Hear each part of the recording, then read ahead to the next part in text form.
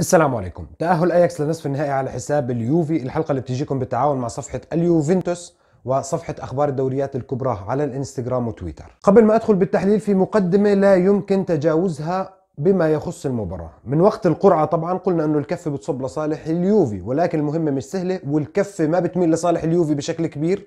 والأسباب اولا روعة وقوة إياكس اللي أظهرها بهاي البطولة سواء مع بايرن ميونخ ذهاب إياب مع ريال مدريد ذهاب إياب. أسماء شابة مدرب رائع ونتائج وأداء قوي جدا جدا. ثانيا بسبب علامات الاستفهام الموجودة على اليوفي والمشاكل الموجودة بمدرب اليوفي اللي هو إليجري. طيب شو هي المشاكل الموجودة بإليجري؟ أترككم مع هذا المقطع اللي نشرته قبل مباراة اليوفي وإياكس الأسبوع الماضي.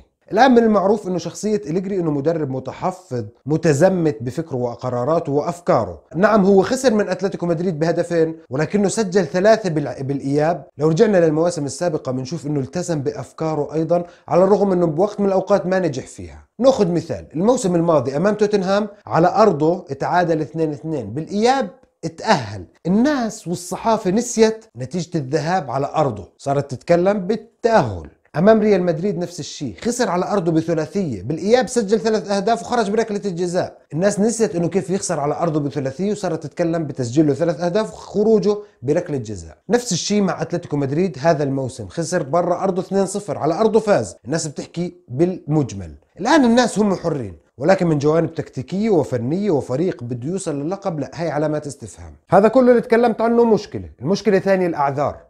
okay اياكس فريق قوي اياكس فريق, فريق شرس ولنفرض إنه اياكس من قبل ما تبدأ البطولة نحكي ولنفرض هو من الفرق المرشحة للفوز بهاي البطولة هل هذا عذر كافي للخسارة إنه اليوفي يطلع أمام الاياكس؟ طيب أصلا هي شو مشكلة اليوفي في المواسم السابقة بدوري الأبطال؟ مشكلته توتنهام ولا موناكو ولا مانشستر ولا مين؟ مشكلته هو الفرق المرشحة برشلونة ريال مدريد بايرن ميونخ اليوفي بيعمل مشاكل أمامها وبيخرج. وهذا هو دوري الأبطال. مستحيل إنك أنت تفوز باللقب من دون ما تواجه فريق مرشح. المشكلة إنه اليوفي أصلا بكل موسم هو مرشح وبقوة وبكون مرات مرشح أكثر من الفريق اللي بيخرجوا من هاي البطولة. كل هاي المشاكل سببها واحد ومن ثلاث مواسم وأنا بحكي المشكلة بإليجري إليجري إليجري. بدك تحكي لي مدرب ممتاز ولا يصلح لليوفي؟ إذا المشكلة بإليجري. بدك تحكي لي إنه الأسماء المتوفرة لا تصلح لفكر إليجري؟ إذا المشكلة بإليجري. أغير 11 اسم ولا 16 اسم ولا أغير إليجري. ومباراة الأمس على وجه الخصوص كانت المشكلة أيضا بإليجري. كيف؟ أنت بتتابع المباراة. إذا كانت المشاكل فقط هي بسبب الإصابات الموجودة باليوفي والغيابات بنحكي لأ هي مش مشكلة إليجري مشكلة إصابات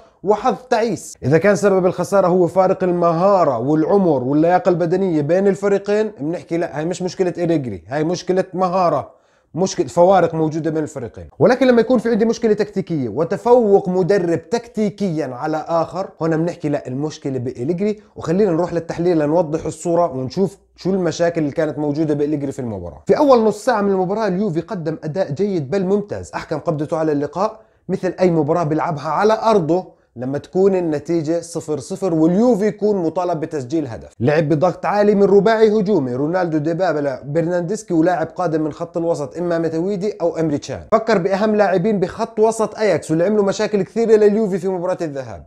شون وديونغ ضغط عليهم وحرم أياكس من الصعود بالكرة وبناء الهجمة.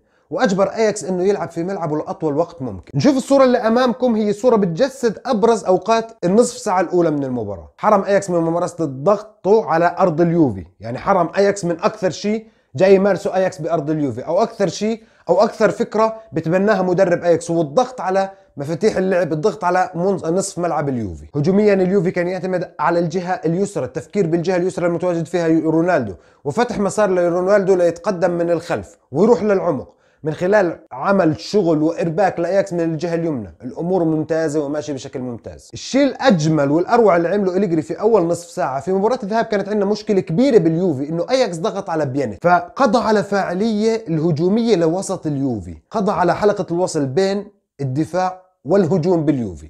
بالأمس وبأول نصف ساعة شفنا إليجري بيمنع أياكس من الضغط على بيانيتش من خلال تبادل بالمراكز رائع بين بيانيتش وإمري تشان. وهذا الشيء اللي كانت نتيجته إنه نشوف بيانيتش بيعمل وبيتقدم وبيعمل حلقة وصل من دون ضغوطات كبيرة وفاعليته الهجومية كانت ممتازة جدا. نشوف الصورة اللي أمامكم. ترى كيف كان هجوم اليوفي وتشوف كيف تحرر بيانيتش شو كان عامل باليوفي هجوميا. هاي اللقطة هي سبب من أهم أسباب إنه اليوفي كان بأول نصف ساعة كان أداؤه هجوميا ممتاز جدا عامل توازن رائع في الملعب. اليوفي أفضل أخطر المباراة ماشي بشكل رائع تقدم اليوفي. هنا دخلنا بسيناريو معتاد بعد ما اليوفي يسجل هدف ويأخذ الأفضلية وتكون النتيجة لصالحه. لو اليوفي كان مطالب بتسجيل هدفين كان شفنا اليوفي استمر. ولكن خلص لما وصل للنتيجة اللي بتأهله أخذ ال risk على حاله وأخذ ال risk على نفسه أليجري وهذا الشيء سيناريو معتاد إحنا المفروض إحنا نكون متوقعينه. بعد الهدف اليوفي تراجع بشكل غريب أخذ خطوة للخلف بيانيتش رجع مكانه. كل شيء كنا نشوفه قبل الهدف أو أول نصف ساعة اختلف. رح تحكي لي إنه اياكس استفاق؟ لا لا. كانت فكرة واضحة إنه يوفي يرجع. اياكس أصبح يضغط على اليوفي بمناطقه. اليوفي أصبح يداور الكرة في المناطق الخلفية أكثر. قل ضغط على اياكس بمناطقه. ولما اليوفي يتراجع شيء طبيعي الزيادة العددية في الوسط يقل عطائه ويتأثر خط وسط اليوفي. ديونج شون رجعوا للمباراة ورجعوا يشتغلوا بشكل ممتاز. اليوفي فقد عمق الملعب. رجع اياكس للعبه أو إليجري رجع اياكس للعبه الثلاثي الهجومي اللي تقريبا أول نص ساعة ما شفناهم.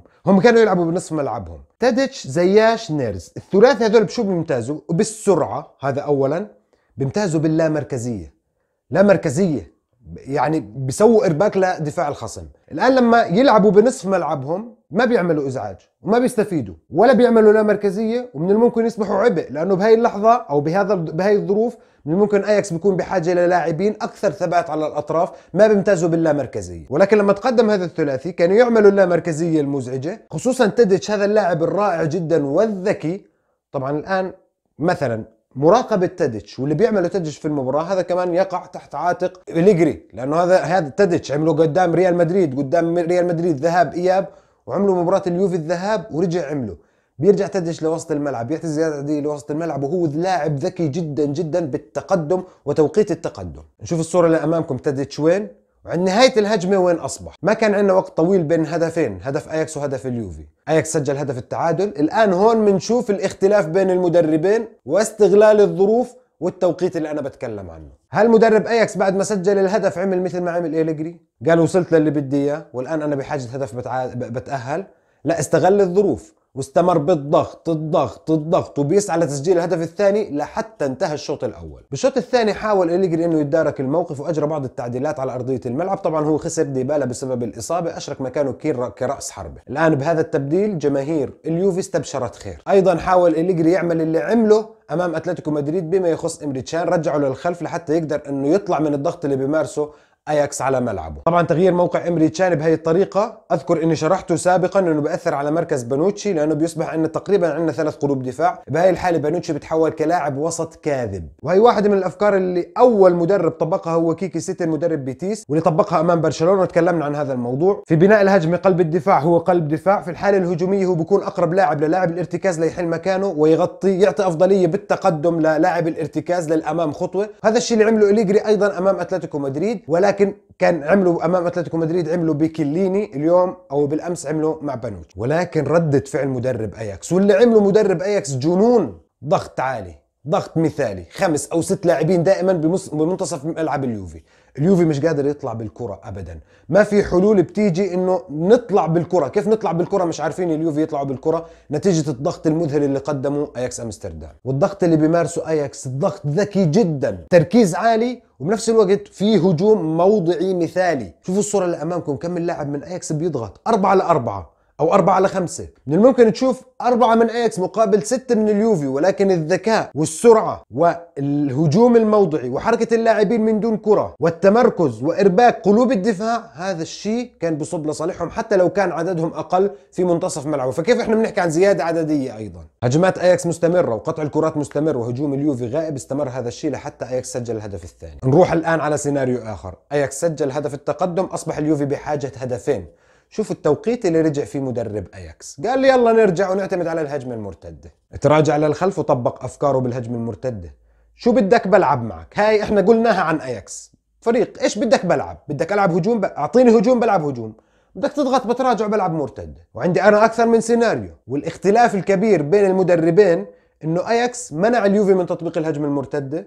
لما كان اليوفي بحاجتها بينما اليوفي ما منعهم من تطبيق الهجمة المرتدة. بنحكي عن منظومة مدروسة أفكار مدرب على أرضية الملعب مع لاعبين بتناسبوا مع أفكار هذا المدرب. الشيء اللي مش موجود باليوفي للأسف. شوفوا الصورة اللي أمامكم هذا أياكس لما تراجع لما سجل الهدف الثاني وقال يلا نتراجع ونلعب على الهجمة المرتدة. شوف كيف ترتيب الصفوف الموجود عند أياكس. الآن شيء طبيعي لتدارك الموقف اليوفي هاجم بأكبر عدد من اللاعبين يترك مناطقه مكشوفة روح عالية إصرار. ومهارة عند مدافعين أياكس عدم استغلال لنقاط ضعف موجودة بدفاع أياكس وتكلمنا عنها screenshot ما قبل مباراة اياكس واليوفي الذهاب. بما يخص الكرات العالية والتركيز على بلند ورونالدو يروح لبلند وعكس كرات من الجهة اليسرى. واقتراح قدمناه لأكثر من مرة أنه برنارديسكي يروح للجهة اليسرى ويعكس كرات على الجهة اليمين ويكون كريستيانو رونالدو هو اللاعب الأقرب لبلند انتهت المباراة. نعم في فارق بالعمر باللياقة البدنية بالروح والإصرار في فارق كبير بإدارة المباراة بين المدربين والأفكار كيفية وتوقيت تطبيقها على أرضية الملعب. اليوفي خسر المباراة بالذهاب لما فشل بتطبيق الأسلوب الأفضل والأنجح على أرض الخصم. أنا ما بنسى أني أنا قلت بكون مع إليجري إذا لعب بأسلوب دفاعي ولكن يحل المشاكل الموجودة بالفريق وأبرزها التحول من الدفاع للهجوم والعكس وكلها هاي ما انحلت نفس المشاكل كانت موجودة. حتى لو كنت تلعب بأسلوب دفاعي في أوقات بتستغل حالة الإرباك اللي بيعيشها خصمك ويستوجب عليك إنك أنت تهاجم وتبادر وتفاجئ. ولكن أعتقد إنه الآن جميعا لازم نتفق لازم إليجري لازم إليجري يخرج من اليوفي على الأقل. تجديد روح لأنه أصبح الموضوع ممل بالنسبة لجماهير اليوفي. اليوفي ما بنحكم عليه بالألقاب المحلية ابدا لأنه أنا متأكد مليون بالمية بالأسماء اللي بيمتلكها اليوفي. شيل إليجري وجيب أي مدرب آخر في العالم بياخذ الدوري الإيطالي. هذا شيء لازم إحنا نعترف فيه. لاعبين نجوم بالعالم بكل المراكز بيمتلك افضل من واحد من أفضل اللاعبين في العالم. هيك بنكون وصلنا لنهاية حلقتنا. ما تنسوا الاشتراك بقناتنا على اليوتيوب صفحتنا على الفيسبوك. كان معكم طلحة أحمد. من صفحه وموقع قناه تكتيكات كرة القدم. إلى اللقاء.